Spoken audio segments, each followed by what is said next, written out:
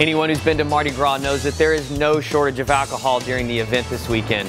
So if you're coming down and you plan on drinking, make sure you secure a ride or utilize one of the mass transit opportunities that we have here on the island, including our bus system, taxi services, and ride sharing options. You can go to galvestontx.gov to see the transit schedule and for more options.